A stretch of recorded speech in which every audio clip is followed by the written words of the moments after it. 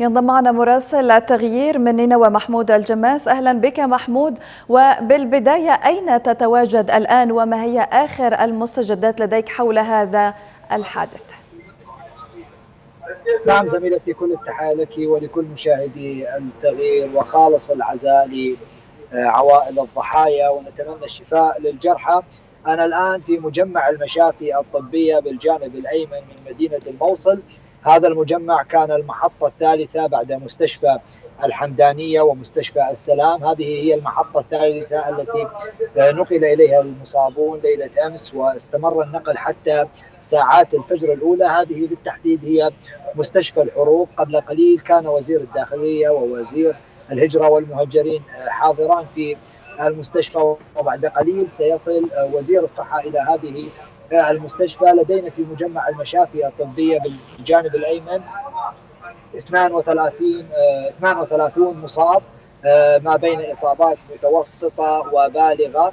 ستة منهم بحالة حرجة جدا. نقلوا إلى العناية المركزة في المستشفى الجمهوري التي تقع على يميني لو انتقل زميلي المصور نعم. هذه المستشفى الجمهوري على جانبي تبعد 100 متر عن مستشفى الحروب فيها حاليا ستة يعني ما بين الحياة والموت آه المستشفى آه يوم أمس هذا المجمع يعني آه شهد وصول آلاف المتبرعين بالدم من أبناء مدينة الموصل بعد صرخات استغاثة نعم. بالإضافة إلى أن المباخر الأدوية فتحت أبوابها الصيدليات فتحت أبوابها كما كما نعلم الواقع الصحي في المدينة. متعب لا يحتمل مثل هذه الانتكاسات والنكبات لكن كان تكاتف حقيقي رغم حجم الصورة المؤلمة كان هنالك صورة أخرى لحجم التكاتف التبرعات بالمجان سواء للاحتياجات الأولية لبعض الأدوية المهمة للمصابين بالحروب فيما يخص لا أرغب بالدخول إلى داخل المستشفى حتى لا نعم. نتسبب بإزعاج للكوادر الصحية حاليا كوادر الصحة تسيطر على الوضع نعم. على حالات المرضى لكن الإصابات بالغة وكما نعلم إصابات الحروب خطيرة نوعا ما أما فيما يخص أعداد المصابين بصورة نعم. عامة والمتوفين في الحصيلة حقيقة يعني لدينا ما يقارب 100 متوفي قد يزيد العدد إذا اتضحت الإحصائيات أكثر. لدينا لدينا مصابين 200 أو أكثر. هنالك غادروا المستشفى هنالك كانت اصاباتهم بسيطة لم يذهبوا إلى المستشفيات. وهنالك طيب محمود. بالغة. نقلوا إلى نعم محمود يعني هل لديك تفاصيل أكثر حول وقوع هذا الحادث ليلة البارحة؟ نعم زميلتي كل روايات شهود العيان تتحدث عن وجود مدخل واحد للقاعة وهو هو مدخل وهو مخرج ولا يوجد طرق يعني ممرات سلامة أخرى نعم. منفذ طوارئ كما نسميه بالإضافة إلى أن القاعة كما اكد الدفاع المدني التغليف والديكور كان بمواد سريعة الاشتعال يعني كما وصفها مدير شعبة العلاقات بالدفاع المدني سرعة اشتعالها أسرع من البنزين. وجود الألعاب النارية داخل القاعة تسبب بهذه الكارثة بحسب روايات الشهود قالوا أن الألعاب النارية هي من كانت سبب الحريق. هنالك أكثر من ألف شخص في مكان مغلق لا يوجد مخارج أخرى. نعم.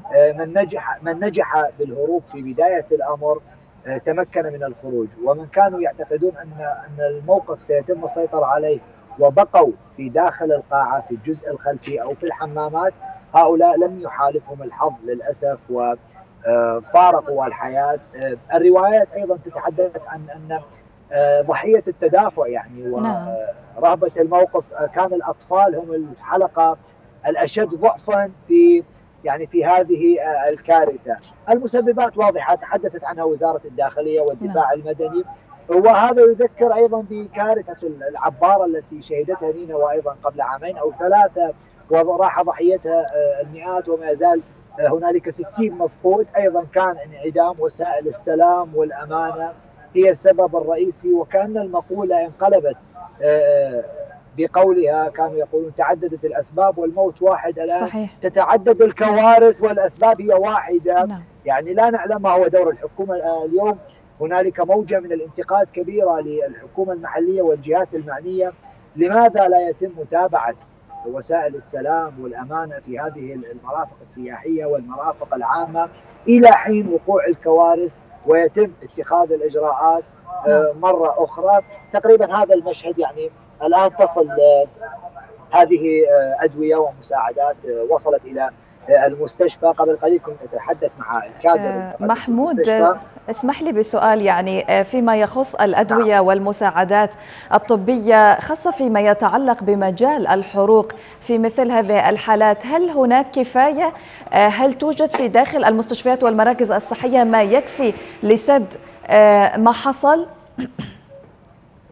يعني حقيقة قبل هذه الكارثة دائما نسمع من المرضى بحكم عملنا الصحفي وجود نقص وجود حاجة للعلاجات بعض الأدوية مثل البومين وغيرها هذه يحتاجها مرضى الحروق لرفع مستوى القدرة المناعية حتى لا يحدث تسمم لجسد المصاب. نعم. قبل الكارثة كان هنالك نقص نوعا ما ويحتاج. فكيف في مثل هذه الكارثة؟ لكن صلاح الدين وكركوك و أعتقد بغداد أرسلت من حصصها المتوفره في المذاقر وفي الصيدليات الموجودة لديها. الأمر الثاني للأمانة أذكرها أنا يوم أمس حتى الساعة الخامسة فجرا موجود في هذا المكان. أصحاب المذاقر والصيدليات الأهلية في نينوى كان لهم موقف مشرف جدا. يعني عبأوا سياراتهم بحساب مفتوح للتبرع. كل ما تحتاجه الصيدليات أو كل ما تحتاجه المستشفيات ل إن صح التعبير للسيطره على الحالة بصورة مبدئية وفروا لهم من علاجات أدوية شاش بعض الابر الحيوية التي يحتاجها المريض في المرحلة الأولى من العلاج. كلها يعني وصلت المستشفى قبل أن يصل الدعم الحكومي وتأكدت بانها تبرعات يعني كانت من دون مقابل. والآن ومع ساعات الصباح الأولى وصلت مساعدات صلاح الدين وكركوك بحسب المعلومات التي لدينا. ويفترض أن يكون لبغداد دور في توفير ما يحتاجه المرضى وسيكون لنا لقاءات أيضا مع عوائل الضحايا. لنعلم إن كان هنالك اهتمام حقيقي ام نقص فيما يحتاجه. محمود بالنسبة لعوائل الضحايا اسمح لي وفي سؤال أخير يعني ردود أفعال أهالي الضحايا وهل هناك لغايه هذه اللحظة أي مفقود في داخل القاعة المحترقة؟ يعني نشاهد تصلنا بعض المناشدات عبر مواقع التواصل ما يزال هنالك عوائل تبحث عن مفقودين لا يعلمون إن كانوا مصابين إن كانوا قتلى إن كانوا داخل القاعة وتفحموا لأن القاعة أصبحت كوم من الركام. فجر اليوم فجر اليوم وصلتني معلومة من قضاء الحمدانية بأنهم انتشلوا جثتين طفل جثتين لطفلين اثنين بقيا عالقين داخل القاعة. فمن المحتمل أن يكون هنالك ملف للمفقودين في هذه الحادثة لكن كرقم دقيق لا لا تستطيع. نعم. المؤسسات الرسمية تحديده ولا حتى نحن كوسائل اعلام إلا أن تتضح الصورة ويتم جرد ما موجود في المستشفيات. بملاحظه أخيرة عن مشاعر. ذوي نعم. الضحايا نعم. مشاعرهم يوم أمس كانت الصدمة مخيمه عليهم بصورة كبيرة. يعني عرس تحول إلى مجزرة بشرية في لحظات. الصدمة كانت مخيمة. لا يمتلكون طريقة للتعبير. كانوا حتى يرفضون الحديث أمام وسائل الإعلام. وكل كلماتهم كانت غير مفهومة. يعني واقع الصدمة على العوائل كان مهول جدا. يعني نلتقي بشخص فقط خمسة من عائلته في لحظة وهو كان في فرح. الآخر نعم. ثلاثة الآخر اثنان الآخر لا يعلم. يعني قبل قليل شاهدت فتاة من الكون المسيحي تركض من بداية الشارع ودخلت المستشفى بصورة يعني جنونية ومهولة. هذه كانت خارج المدينة ولم تعثر على ذويها إلا قبل قليل علمت أنه في أحد أقاربها أنه في المستشفى. فيعني الصدمة والذهول يخيمان حتى الآن على العوائل هم لم يصدقوا حتى الآن ما حدث لهم. نعم.